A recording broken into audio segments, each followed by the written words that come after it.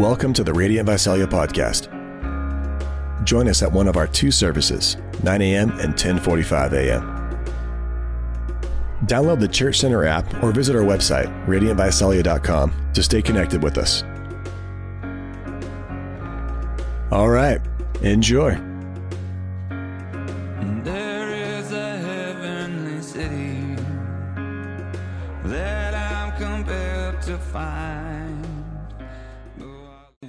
Morning, Radiant.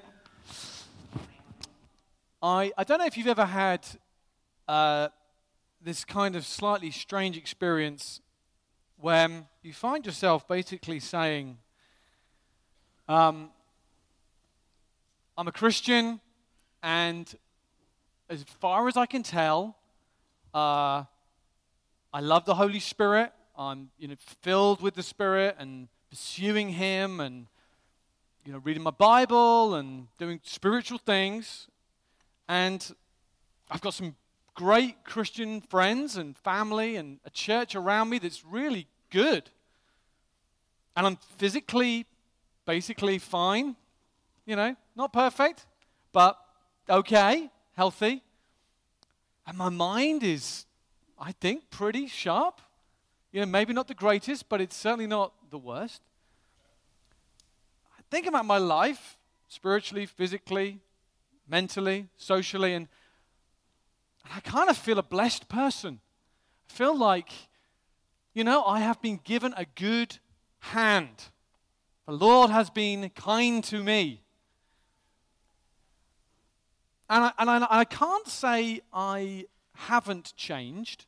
That would be an overstatement. But here's the million dollar nagging thought I can't help but think have I really changed as much as, if I'm honest, deep down, I would kind of have hoped to? It's not that I haven't changed at all. It's not that if you were to ask my friends or my family or my kids or my spouse, has this person changed since becoming a Christian? It's not that they would say, no, he's exactly the same. No, no, it's certainly in my life, it's this more subtle question that the degree to which I would have hoped to have changed, the degree to which I would have wanted to genuinely become like Jesus, not just in the public place, but more profoundly in the private realm, in the place where other people don't see, in the areas of normal domestic Monday to Saturday life. It's in that realm that I can't help but often find myself thinking, even though spiritually and physically and mentally and socially, I feel like I have got so many things, so many resources that should enable me to become the woman of God or the man of God that I, I see in here. But I still, if I'm really honest, sometimes think, why is this progress so apparently not non existent, but small and incremental and sometimes just plain shallow. Is there any of you here who would at least in any way identify with that kind of story going through your mind? So common that we just sort of assume it's just inevitable. Well, over the next few weeks, I want to look at what I genuinely believe is I wouldn't say it's a silver bullet, okay? I am wary of silver bullets. You have that phrase here? A thing that solves everything with one little neat thing. I'm not saying that. What I want to humbly offer out of some extremely painful, vulnerable years is a key. Just a key. But I honestly believe it's a key in Christian discipleship life that for one reason or another, many of us, for some strange reason, have never fully looked at and allowed Jesus to help us see as part of our growing to become like him. We've got a, um, a book that uh, we're going to be particularly delving into. Now, if you know me at all, my greatest passion is exegetical, line by line, preaching of the word. You cannot beat it. It is glorious, but occasionally we do also approach the preaching of the word thematically, when we feel God's really leaning us into that place. And as a book that I would really encourage you to buy, uh, it's called The Emotionally Healthy Church. It does have a flashy cover, but I've lost it. And uh, apart from the Bible, this book has changed my life way more than any other book ever written. I've read it nine times, and I'm going to be going into it again soon. And it's written by a guy called Pete Scazzero. And if many of you, if you don't know Pete, you'd probably like Pete. He's a very impressive American man, thank you very much, who lives in New York and is a high achiever and has done many great things. So, as we gallop on this road of emotional health, on this horse over the next few weeks, and we're going to be talking about things that some of you will go, you'll twitch at. I predict that. You'll go, limits? Limits? Saying no to things and admitting I have limits? I don't like the sound of that. We are spiritual beings and we can push through limits, Tom.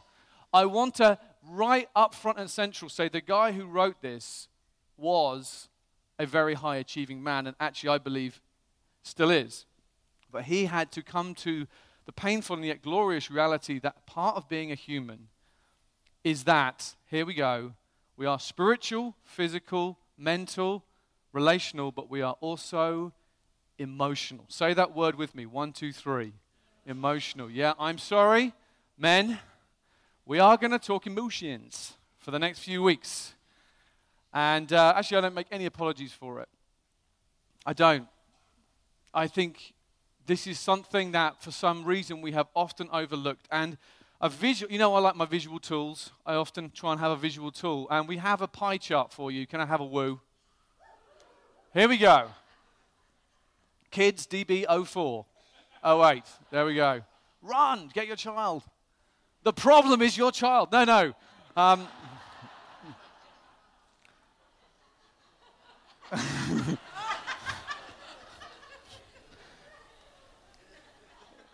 There are many ways that theologians have uh, presented a theology of man, theology of who we are as beings. And I wouldn't die on the hill of this one, but I think it's helpful. That's all I'd say. And Pete Scazzero says that he says that when you look at the Bible, you can, I think, legitimately view all humans as having five components that we are physical, that we are intellectual, mental, that we are mental, that we are spiritual, that we are social, and we are emotional. Spiritual, physical, emotional, intellectual, and social. As you can see, I don't know if you like acronyms. I love acronyms. I love any way to make things sticky, even if they're cheesy, that's fine. It spells the word spies. Spies. S P, how do you spell it? S P E. Oh no, I've gone wrong. S P I. I'm so unimpressive, but that's okay because I'm emotionally healthy. S P I E S. And we're going to be looking at the emotional component, the reality that you can be someone filled with the Holy Spirit, loving the Holy Spirit, quoting the Bible, fasting left, right, and center. You can be super gifted. You can be someone who is physically tippity top. You can be someone with fantastic relational prowess. You can be someone whose brain is the size of Everest and can out argue anyone. And yet, there can be this hard to put your finger on, or sometimes actually very blatant expression of lack of godliness, lack of love. Let me give you some examples that Pete Scazzero uses, uh, mentions in his book, just to help you identify with the problem. You can be a dynamic, gifted speaker for God in public and be an unloving spouse and parent at home. You can function as a church board member or pastor and yet be unteachable, insecure, and defensive. You can memorize entire books of the New Testament and still be unaware, listen, unaware of your depression and your anger, even displacing it on other people. You can fast and pray half a week, half a day a week for years as a spiritual discipline and yet constantly be critical of others, justifying it as discernment. You can lead hundreds of people in a Christian ministry while driven by a deep personal need to compensate for a nagging sense of failure. You can pray for deliverance from the demonic realm when in reality you are simply avoiding conflict, repeating an unhealthy pattern of behavior traced back to the home in which you grew up. You can be outwardly cooperative at church or work or wherever, but unconsciously try to undercut or defeat your supervisor by coming habitually late, constantly forgetting meetings, withdrawing, and becoming apathetic, or ignoring the real issue behind why you are hurt and angry. He says, Do you resonate with any of these descriptions? The leader who never actually says, I was wrong. I'm sorry. The children church leader who constantly criticizes others. The high control small group leader who cannot tolerate different points of view. The 35 year old husband busily serving in the church, unaware of his wife's loneliness at home. The worship leader who interprets any suggestion as a personal attack and personal rejection. The Sunday school teacher struggling with feelings of bitterness and resentment towards the pastor, but unafraid to say anything. The exemplary servant who tirelessly volunteers in four different ministry but rarely takes any personal time to take care of himself or herself. Oh, this, is a, this is key.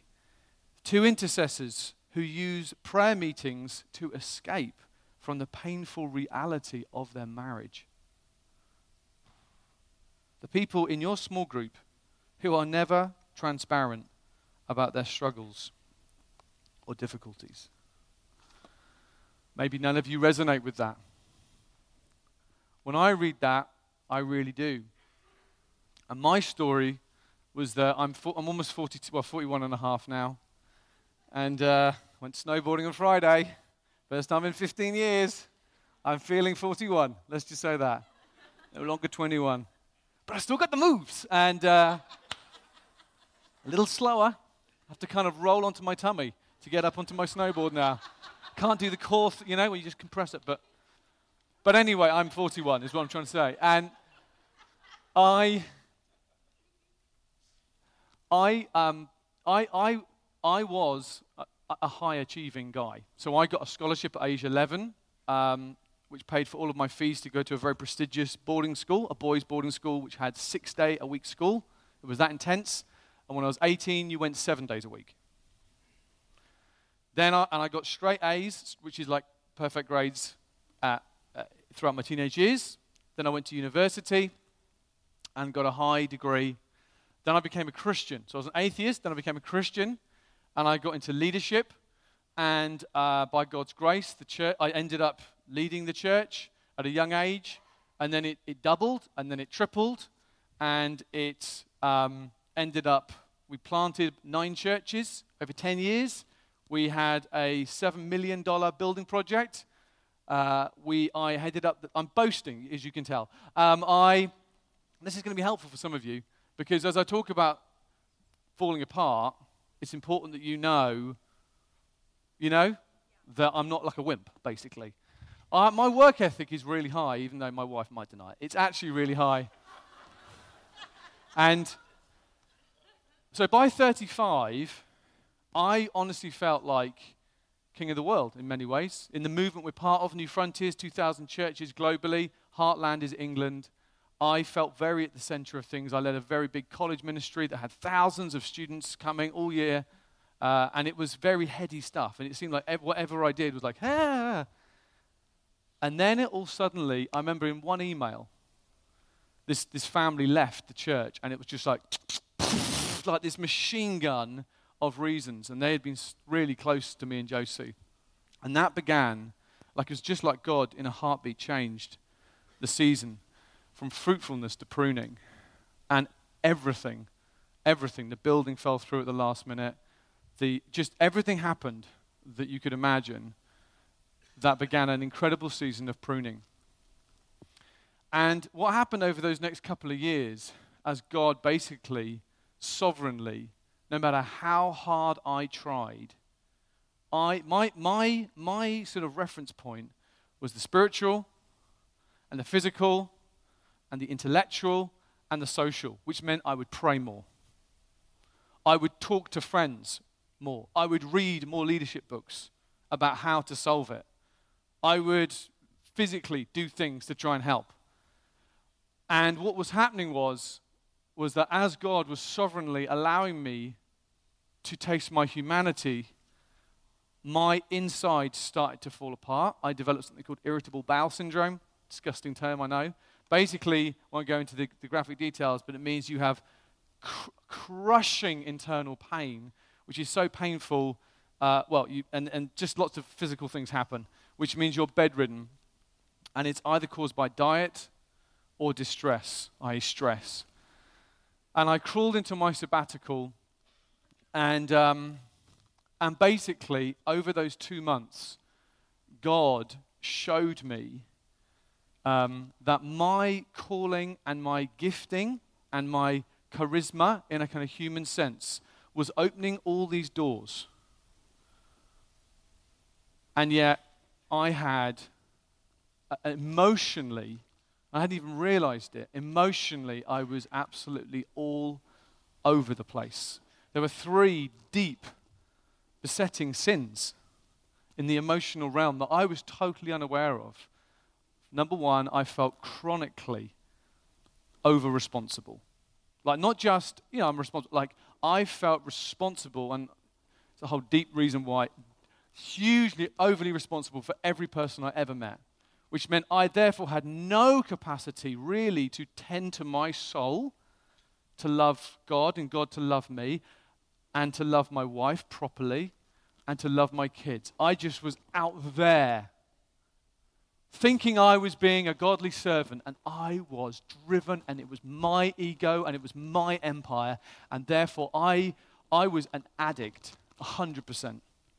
100%. Total addict. Over responsibility. Number two, I was a total perfectionist. So it wasn't just things had to be solved, they had to be perfect. And I, I was incredibly hard on myself, incredibly hard on other people if it wasn't perfect. And then thirdly, I was chronically impatient. Bad mix. So I'm feeling hugely wrongly, in a godlike way, responsible for everyone, not in a good way at all. The problem has to be solved perfectly and it has to be done now. And this was what I was, had no clue and guys, the scary thing is, honestly, if you ask Jesse, I got up early every day. It was drilled into me from my dad, who's a very godly man. You follow Christ, the first thing is you give a chunk every single day. It's like Christianity 101. You get your butt out of bed, you get up early, and you get in the scriptures for a big chunk.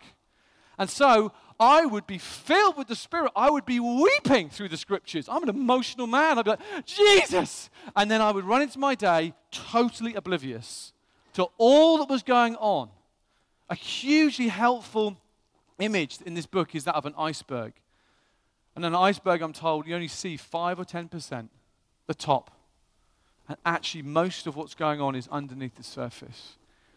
And it, you see, those dark motives, those like underwater currents that were driving me, were already, they were there for years. But it required this near burnout for me to actually see them. One of the phrases that Pete Scazzero says that's so helpful is this is that most of us will never do the hard work of really looking beneath the surface as to what's going on. Particularly in the age where we live, and most of us are ad- addicted to, to, to caffeine rather than the Holy Spirit. We are. We're addicted to external things that we can measure, even though the entire work of the kingdom so often is internal first. Internal first. And like, yeah, got it. And then our whole lives are addicted to actually an external world. Totally. We're, we're, we're, we're not even closet materialists. We're blatant materialists. Everything about the material realm is actually what we measure. And all the time, God's watching his people, watching Tom, going, It is as clear to me as that sunset when I look at your heart.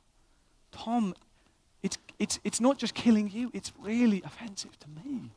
Because when you get to the end of your life, it, it, you're not building with gold, Tom, you're building with straw. So I found myself forced to see the problem.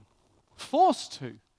And if you're in a place where you're feeling somewhat almost at the end of yourself, I praise God for that. He will get you one way or the other. At one point, if you keep resisting, if you keep digging your heels in, if you, if you will not partner with the kind breaking of Jesus, if you won't partner, it will take longer and be more painful and be more dramatic. He will have his way with you. It's out of his kindness, it's out of his love. And no, so the, the problem then that we want to look at is the fact that most of us ignore our emotions. Many of us will think that we're in touch with them when we're not. Is that emotions are not everything, but they are part of the deal. We, we don't deify them and say they're God, but we don't deny them and say they're unimportant. They are part of who we are. They're a big part of who we are. And actually, you know, I love what Scazzero says. He says they're a major prophet, not a minor one. Oh, that's helpful. I think it's helpful. There's checks and balances. I hear that. I'm with you. I'm from England, the land of cerebrality. I'm with you. Think clearly. I'm, I'm, I'm, I'm with I love it the thing is, in fact, this is where we move on to the second point. The solution starts with Jesus. It really does. It starts with your view of God. I mean, take me on theologically. Try and argue that the God of the Bible is not an emotional God. I will take you on. You are wrong. You're just wrong. And it's not just Jesus, although, of course, it's explicit there. You read, read the Bible in a year. I wonder how often we do it. You read it. The broad sweep of it is of a God who really, really emotionally cares. Emotions are divine, they will be here forever. We will be in an emotional world. Hallelujah. Don't be scared. Honestly. I mean, look at Jesus. I mean, so many examples. We've got a few up here. First of all, I mean, and this is really key. These are sometimes we just switch off when you see these phrases, but they're huge. Luke 19, 41. As he approached Jerusalem, he saw the city. What did he do over it? I think we've got this on the screen. He wept over it. It says, As he approached Jerusalem and saw the city, he wept over. Think about that for a moment. Just imagine Jesus comes to Visalia and he looks around Visalia and then he gets into the fetal position and starts weeping with despair. He's like, when I, when I look at this city, this particular city, you know, I'm not just like polite. He, he, doesn't, he doesn't care if he offends the Jerusalem people. He was weeping. It wasn't as it should have been. He wasn't just some kind of like smiling, stoic leader who was like, I know it's bad, but it's going to be okay. He wept. What would he weep over your marriage? Would he weep over how you view singleness? Would he weep over your view towards money? Would he weep over it? It's really possible, isn't it? It's really possible. Luke 10 21, he was filled with joy. At that time, Jesus, full of joy through the Holy Spirit, said, I praise you, Father, Lord of heaven and earth, because you've hidden these things from the wise and learned and revealed them to little children. And the context here is what's just happened is the 72 have just been sent out. And honestly, all they've, I mean, it's, it's great. They've prayed for people, they've seen people healed. But it's kind of Christianity 101. Go and do what I've done. There's no like building of mega churches or, you know, really in sort of strategic. It's just they've gone out, they've prayed on people, they've preached the gospel, and it's been great. But you see, Jesus here isn't like some of your dads who, when you crushed it and you did really well, he just went.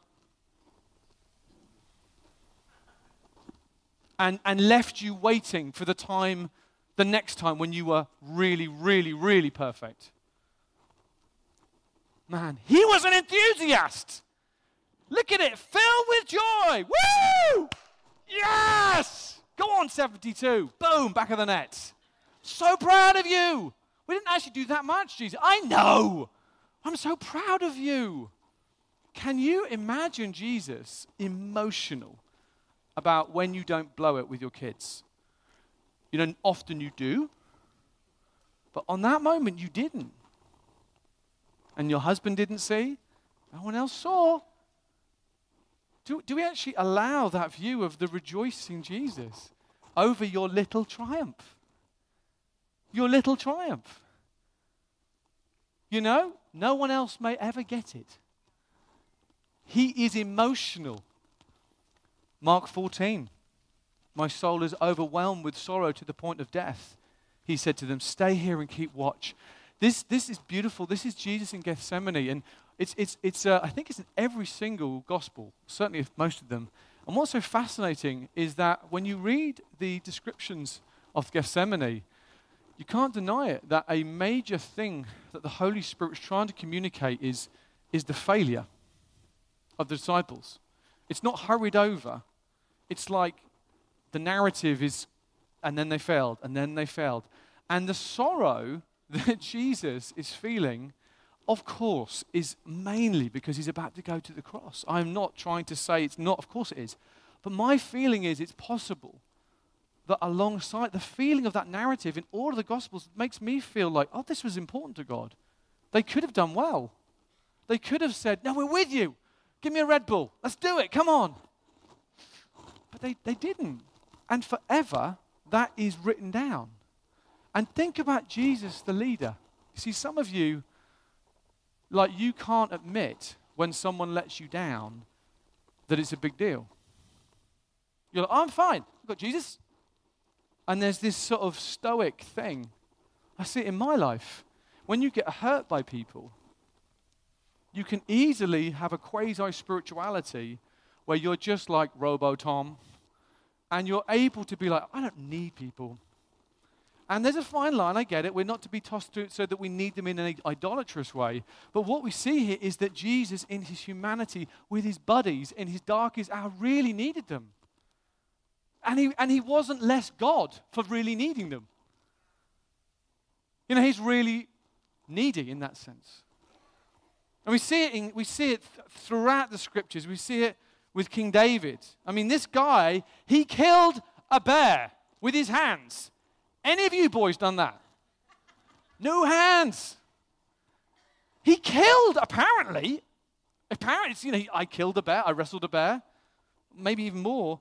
This guy's seriously macho. And then it says in Psalm 22 14, it says, I am poured out like water. My bones are out of joint. My heart has turned to wax. It's melted away. Psalm 31:10, my life is consumed by anguish. Code for I'm very depressed. I am really depressed. How you doing, Tom? Oh yeah, I'm consumed with anguish today. Morning. Consumed with anguish. My years by groaning. My strength fails because of my affliction. I didn't really want that answer, Tom. I just wanted to say hi.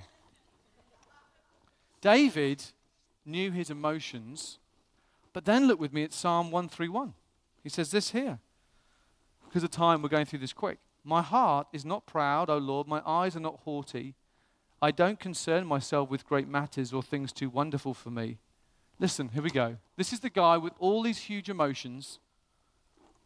But I have stilled and quietened my soul like a weaned child with its mother. Like a weaned child is my soul within me. O Israel, put your hope in the Lord both now and forevermore. Do you feel this amazing masculine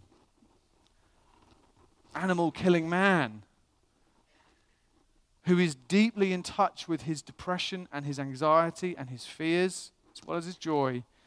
And yet he has learnt somehow like a weaned child. Now, I've never given birth to a baby. I don't know too much about weaning versus non weaning, but the basic idea is I think pre weaning, they're very like frantic, very dependent. And as the child grows, it just becomes more and more, in an appropriate way, dependent.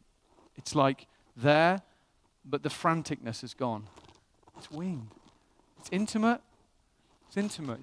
It's still close, but it's weaned. David goes through the explosions of his emotions, but he's also here as a weaned child. Our emotions are made in the image of Jesus. See, Jesus had helped David, he'd helped David to be real about his emotions. That's why Psalms is the most popular book of the Bible. Gives you permission to feel, gives you a language to feel. But then we see near the end of Psalms is that David is not just ruled by his emotions. It's not just, I do what I feel. I'm not saying that. But he knows what he feels as part of who he is. Some of you are in marriages, and on the surface of it, it looks okay. And yet, actually, at any depth, there is a lack of connecting because one or both of you has never seen this as part of who you are. Why not? Our Christian heritage is to blame often. Our Christian heritage is to blame. It's secretly Gnostic, which means we prize the spiritual, we despise anything else, particularly the physical. Emotions are seen as fickle things. Our Christian heritage takes a truth which is don't ultimately be ruled by your emotions and brutalizes it so that it's like your emotions are irrelevant. Some of you have grown up in that. Some of you, your only toolkit is a spiritual one. Pray more, fast more, learn the Bible more. Sometimes our Christian heritage is a hugely shaping thing. And what it does is it means that your view of God is just distorted you don't see the t- kindness of Jesus. We don't see it. We don't feel it. You know, last year when we did that box thing, do you remember that? Who God is, what He's done, who we now are, and what we do. For so many of us, I mean, if not all of us, the goodness and the kindness of the Father is something that we kind of get 1% of, but we don't really believe that our Father and that Jesus genuinely are actually that kind and that merciful. For so many of us, when, when John Wesley, he had a, had a mental faith, he had an intellectual ascension, and then it famously says one day he was listening to a sermon and he says his heart was strangely warmed. Heart was strangely warmed. That is emotional language. The guy who single handedly was used by God to stop England sliding completely into moral decay and actually birthed a revival, the like of which England's probably never seen since. That man was strangely warmed. And that's the moment that all of historians go, His heart was strangely warmed. Hallelujah. His heart was strangely warmed. Didn't you see? His heart became alive. And then he wrote songs like this Jesus, lover of my soul. Jesus, lover of my soul, let me to thy bosom fly, while the nearer waters roll, while the tempest still is high. Hide me, O my Saviour, hide till the storm of life be past. Safe into the haven guide, O receive my soul at last. Do you know he had huge pressure on him to change that word lover? So uh, if you look at this on Google, you often find it Jesus, refuge of my soul, or Jesus, savior of my soul, not Jesus, lover. Is he your lover? Do we see him as that? Our view of God, of Jesus, often just filters the kindness of him out. It really does. Just, just, just check today. Is that, do you see God as Muslims see him, which is holy? Which is not wrong. But do you also see him as loving and the God who put on human flesh? Because that's Christianity. That's Christianity. It's not just that he's holy. There are branches of Christianity which have incredible similarities to Islam. It's all about the holiness of God. And I fear the Lord. I really do. If you do not understand the depth of the grace of God as the engine that changes your life, a holy God who does not ultimately give up on his people, you cannot taste the true gospel. It's also not just your view of God, it's your view of yourself. I mean, there's so much here. We, we touched upon this last year. Our identity. If you see yourself as just a sinner, scrabbling along in this Christian life, you're not going to believe that it's okay for you to talk about your emotions. You're going to be effectively like an orphan. Even though you've been adopted into the most loving family in the world, if your theology of your own identity as a Christian is not that you are a beloved child of God, then you will again and again think this is this is indulgent, Tom. My eyes should be on Jesus. Well, yeah, that's great, but guess what? His eyes are also on you. He's preparing you. He's preparing you. He's so kind. You don't deserve it. I don't. Think it's ridiculous to call myself a holy one, but it's my, it's my deepest label. Way deeper than anything else. I am a holy child of God. That is the deal. You are in if you know Christ by grace because of the sufficient work of Jesus. That is profound beyond measure. If, you, if it, I can therefore say part of my holiness is that I get to walk with my friend Jesus, who, when you look at him, he wasn't in a hurry. He wasn't, come on, let's get to work. He was, as Dallas Willard said, a deeply relaxed man. Deeply relaxed. If you are always in a hurry, I prophesy there is grace for you there is grace for you as you follow Jesus. You might be running like a headless chicken ahead of Jesus. He's like, What is he doing? What's this, what's this beloved moron doing? Are you a beloved moron who's just. I mean, man, I have been. I told you that. I've already got my dirty washing out for you. So join me in the club. That's where we're going over the next few weeks. And I want to finish with one cheesy, but hopefully memorable, helpful, sticky thing. We're going to look at four chapters out of the seven. There'll be plenty of stuff to work through, even in four, believe me. And uh, many people are familiar with this little green book. Many of you go, Yeah, I've looked at that, I've dabbled. But many of us um, haven't really. The, the key with this is not so much just hearing it, it's really what you do with it. And you have to, therefore, be able to remember it.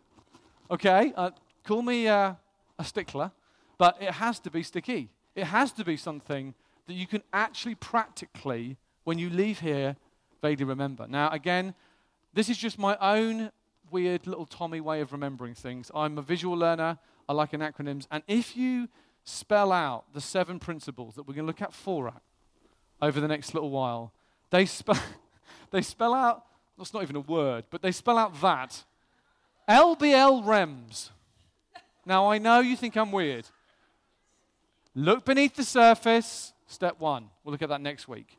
Break the power of the past. As you see the stuff in your soul, so often is to do with your upbringing and the, the first part of your life. Step three, which is, I think, the real heart of this, is then learning to live free from pride, free from defensiveness, living in brokenness and vulnerability, and actually pointing to Jesus. It's beautiful. It tastes magnificent, believe me, even though it looks weird. And then, fourthly, we receive the gift of limits. That's huge.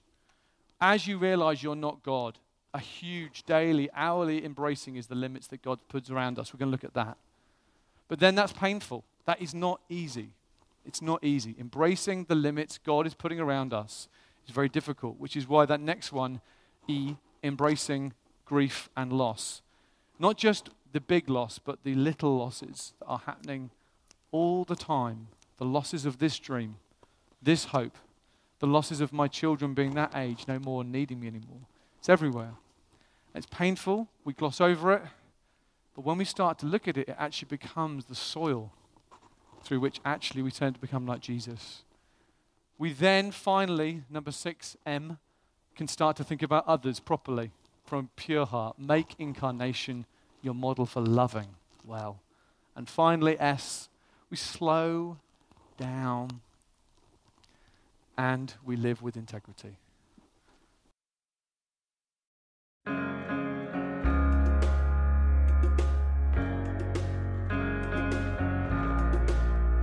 Thanks for listening. We want to be a resource for you as you walk with Jesus. So please connect with us at radiantvisalia.com. Until next time. There is a heavenly city that I'm compelled to find. Though I love the flowers and trees and the smell of the grinding sea and all the beautiful things here in life. And I